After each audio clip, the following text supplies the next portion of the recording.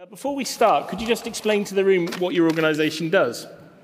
Okay, I'm the CEO of WNS Global, and we are a global tech and ops company with 60,000 employees across the globe. We operate from 65 development centers, 13 countries, and our core differentiator is we're experts in business domains.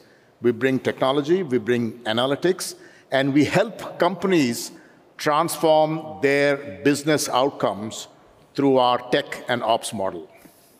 How's the rollout of AI going in your business? What sort of stuff are your clients asking you for? And how are your staff reacting to the rollout of AI? So, Will, first and foremost, AI is here to stay, right? So it's, it's, a, it's a technology, it's a movement that we're very excited about because, you know, for us, delivering great outcomes for our clients is really our, our business mantra.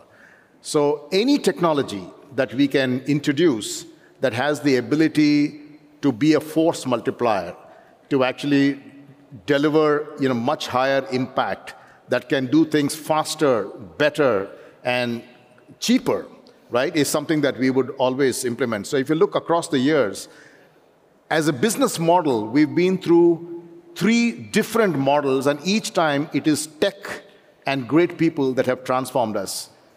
If you look at our business 20 years ago, I would call our business your mess for less, which is processes from the West that were brought into our domains and delivered in a cheaper fashion. Then, over a period of time, as we learned the process and we brought great people and technology in, we created a model which was value beyond cost, which is, you know, we now we're transforming it with the help of technology, with the help of analytics and things like that. And over the last few years, it is business, it is digital transformation, where we have brought in things like uh, yeah, robotics process, you know, automation, uh, as well as machine learning and things like that. And what is really interesting now is the age of AI and ultimately you know, uh, generative AI as well. So all of these are now being embedded in our solutions. We are training our people in terms of how to work with all of these models. And therefore, as a result of it, we're, you know, we're using all of this to build great outcomes for our clients, which will help them be smarter in front of their end customers. We were talking about the element of building trust. How are your staff reacting to this? Are they concerned about their futures? Look, anytime there's a new technology that is introduced, the first thing that everyone focuses on is, uh, you know, is it, is it something that is going to take out jobs? Or is it something that is ultimately going to enhance somebody's job? And across the years, whether it is a political event or whether it is an enhancement in technology, one has always seen that anything new first results in a load of skepticism. Thereafter, you know, as people, you know, uh, work with these technologies or work with some of these uh, new movements, it becomes par for the course. And then over a period of time, it becomes part of your DNA, and that's how you live your life. So for us as well, you know, when, uh, when the industry first saw AI as a new technology coming in, there was a lot of skepticism. Is this going to take our, uh, uh, our jobs out? But I think as we have learned as a, you know, as a company, as businesses, working with governments, to essentially navigate the opportunity and not the threat, I think people are getting far more comfortable that this ultimately is really going to be a force multiplier. It is going to be another tool that they will use in order to deliver better outcomes for clients, for people, for humankind, for society, if you ask me. And that's exactly how our people are, you know, actually uh, accepting this model. One of the things that I often find when I'm on uh, the BBC or talking sort of to a mainstream audience, they're still super concerned about jobs being lost. One of the things you were talking about was actually raising the standard of learning and quality of the people you have working for you, and you're very much seeing that already starting, aren't you? Yeah, absolutely, Will. So if you think of it, I mean, just go back a few years. You know, when the first computer came was announced, that immediately created the impact of, you know, maybe I'm going to be impacted negatively. Then when internet came in, that's the same thing that happened. And we saw, we've seen this across the ages, whether it's the steam engine, whether it was you know, electricity, whatever you've seen. You, we've always met these new changes with skepticism. But I think what has now happened is people are now realizing that technology is here, technology is a given, technology is the way out of you know of uh, the you know the current situation we are in and whether we like it or not technology is something that is going to you know be a force multiplier like i said in the past so for us, uh, if you look at AI as, as, the, you know, as the, the, the, the, the core here, one has to learn to trust AI if we want to succeed, right? So if you look at, uh, you know, if you look at what we have done with our employees, the first thing that we have done is trained a number of them in terms of some of these models. So at our company, for example, close to about 18,000 people are trained just in AI and Gen AI uh, kind of models everyone has got the comfort around the fact that these are models that are here to stay, that they can actually help you know, dramatically change uh, things for the better. And the use cases that we are focused on are essentially, again, to enhance the quality of outcomes you know, for, for our clients. Now, just take the example of uh, you know, how business, technology, companies, governments can come together and build this AI and trust just a simple case, as opposed to you know, focusing on you know, essentially the, uh, the, the threat and not the opportunity, just look at the NHS. If, as opposed to you know, uh, looking at the, the threat part, if we say that let's work with the algorithms that are possible, let's work with you know, AI and repurpose our processes and systems in such a manner that people who need treatment are fast forwarded to the front of a line, can you imagine what it would do in terms of, say, cancer treatment?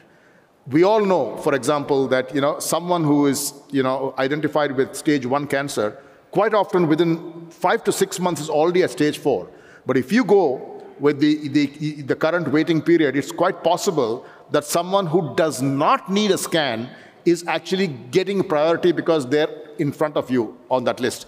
But with the help of AI and some of these algorithms, if you could identify who are the people who need this treatment faster, you could actually give that person a much better chance of survival and move them, you know, uh, very quickly into treatment as a result of which the prognosis outcome is potentially far better. So that's really how we're looking at it. And from a business point of view, what we are focused on is not the potential disruption our business is going to see, but really, how are we going to use this technology and all these new changes essentially to get after the white spaces that are available for our business? I actually think that hardly 25% of our business in the sector is actually penetrated, and there's a 75% white space, right?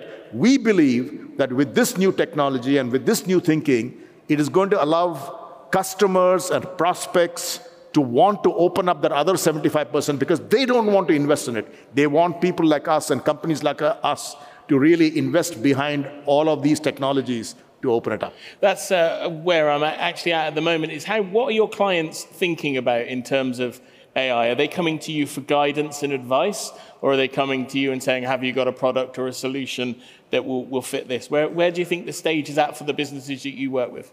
So, Will, everyone is now looking at this as you know, what I call robotics process automation of the past, but on steroids, right? Everybody has learned from the past. Everybody has learned from the mistakes of the past as well. And so, one of the things that clients are, and prospects are telling us is we don't want to invest in the licenses behind this. We understand that people like you know our business domains well. We know that you're investing in really smart people behind the scenes. Remember, I said 60,000 people, 16, or 14 countries, and 65 centers. They're also saying that you are investing in analytics, uh, business analytics that can help us, therefore, provide a, a, a, great outcome as far as the data that we have. Therefore, we want you to do all of it, and we just want to climb on the bandwagon of success. So if you look at it, we are at this point in time running close to about 90 proofs of concept across areas and across companies that are essentially proving the case with a number of companies. And what we think is that over a period of time, this will accelerate at a pace that has never been seen, right? It will result in much higher productivity. It will result in our people moving from lower end jobs to much higher, you know, uh, kind of jobs. It will mean more and more people being trained, upskilled, and reskilled to newer areas. And ultimately, I think it'll result in a much better world for all of us. And that's the responsibility of people like yourself, isn't it? Leaders of businesses, not to look at these AI tools as a way of just reducing costs. There is a way. One of the things that first struck me when I spoke to you, we talked about the fact you had 60,000 employees. The first thing you said to me was, yes, but I've got 200,000 plus mouths to feed. Something like this, the sort of the ethical considerations of this, they must be constant in your mind, right?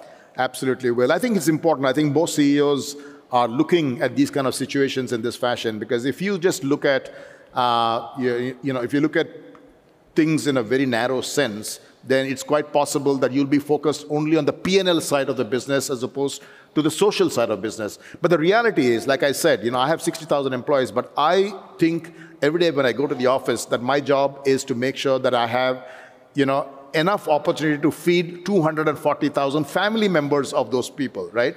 And when I look at it in that format, I'm going to leverage technology and all the goodness of technology to create new opportunities and therefore expand my business as opposed to looking at it, you know, shrinking. So I will all the time look at, you know, tools like AI and technology like, like AI um, as a collaborator and never a threat.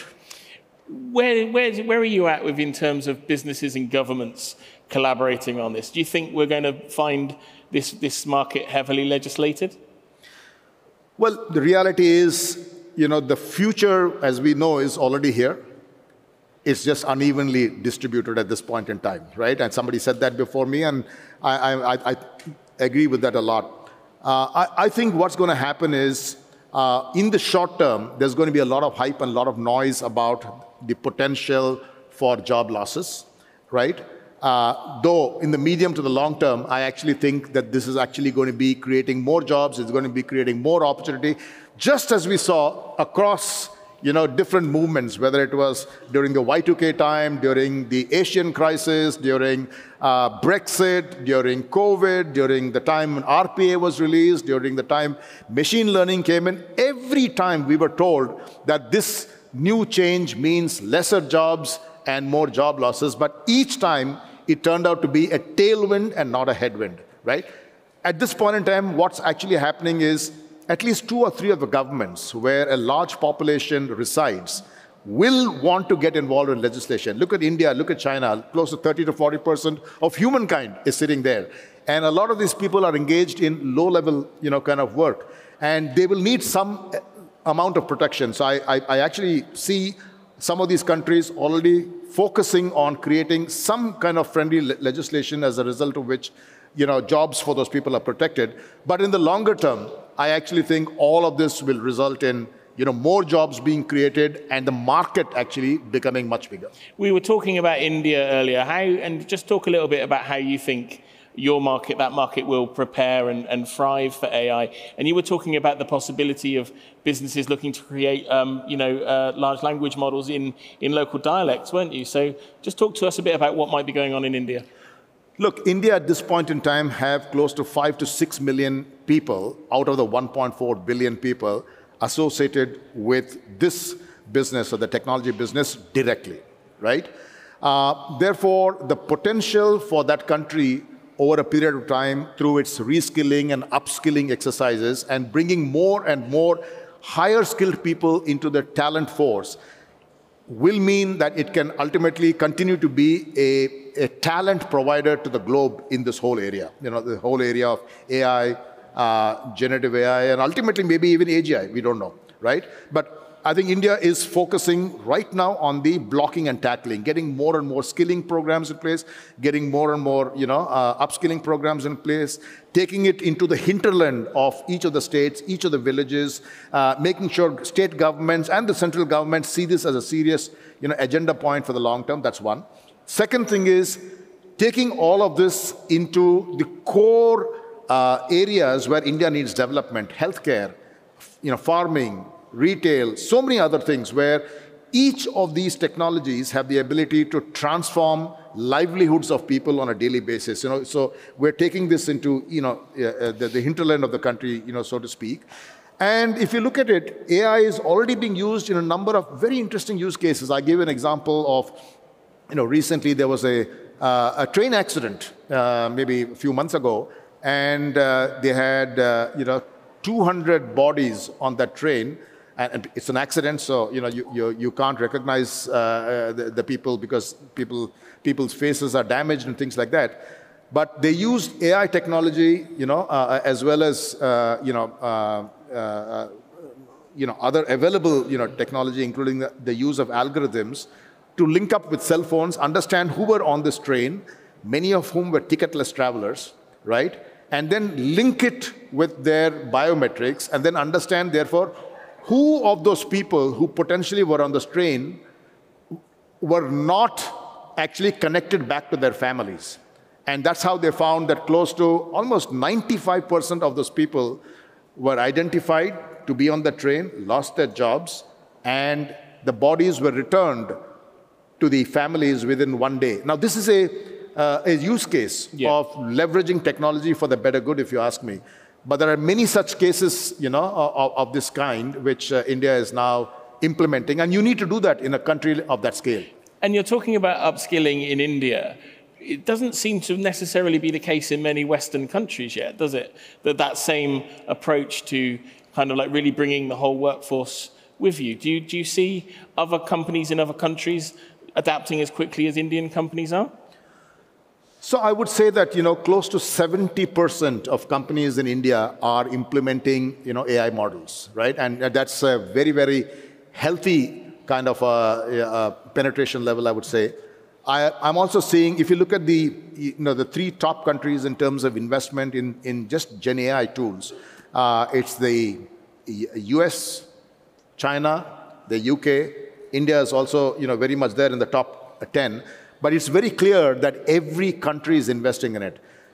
Some of these technologies need huge amounts of capital, and quite often it is not possible for the government to do it, right? So very often you will see that it's the private sector and the businesses implementing, you know, some of these investments, like you're seeing in the U.S. and China, as well as, you know, partially in the U.K. But I would say that, you know, uh, every country has now understood that AI is really not a disturbance, but it is an opportunity. Everyone understands that this is going to be a tailwind. It is here, it is now. You can't ignore it, you cannot avoid it. And therefore, you will see uh, countries that have not caught up, you know, voting dramatically with more and more investments in this area and catching up with other countries as well. Just coming to the end of the conversation, the, the, younger generation, here in the UK at the moment, we seem to almost be banning ChatGPT and it's being demonized in sort of the academic purpose and sense of schools. What's your view with young people and getting young people involved in Will, tech? when you went to school, when I went to school when we were young, we were taught grammar, we were taught mathematics, we were taught English, we were taught other languages, right? And we didn't have a choice, we had to do it. Similarly, I would say that technology is the future, whether we like it or not. This is something that is going to, you know, penetrate each and every one of our lives, and therefore allowing youngsters very early in their lives to experience technology, to experience new models like AI is, is going to be important. And I just want to give you an example. Uh, so I actually think that, you know, a curriculum should have AI, generative AI in, in schools. I think companies and schools should make it compulsory for kids to learn about, you know, uh, uh, about, you know, some, you know, kind of a language, whether it's chat GPT, whatever, because whether you like it or not, you're going to be working with it in the long term. There's no point ignoring it.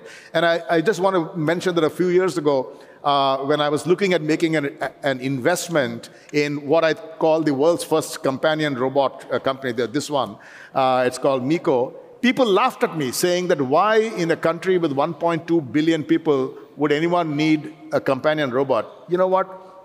people do need it. People love this technology. Uh, the company is doing extremely well. But more importantly, not only is this technology working with young children, but over a period of time, the applicability of this is to take it into healthcare, to work with dementia patient, to work with Alzheimer's patient, and that's the impact of technology. Technology can take you to places that you have never been before. So don't fight it, accept it, keep moving ahead Thank you very much for your time, everybody. You can find him on LinkedIn and X, uh, regularly posts on there, and you can find me at Will Guy on X. So thanks for listening. Thank you very much.